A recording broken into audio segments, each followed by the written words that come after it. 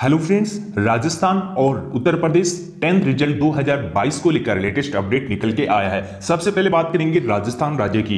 Rajasthan board दसवीं के छात्रों का इंतज़ार खत्म होने वाला है। कुछ ही दिनों में जो दसवीं के नतीजे हैं वो जारी हो जाएँगे। मीडिया रिपोर्ट के मुताबिक board of secondary education Rajasthan द्वारा क्लास टेंथ का रिज़ल्ट तेरह जून के दिन सोमवार को घोषित किया जाएगा। यूपी बोर्ड दसवीं और बारहवीं result 2022 latest update UP board के परिणाम 15 जून के आसपास जारी हो सकते हैं। सभी विद्यार्थी अपना रिज़ल्ट डिस्क्रिप्शन में दिए गए लिंक के आधार पर चेक कर सकते हैं।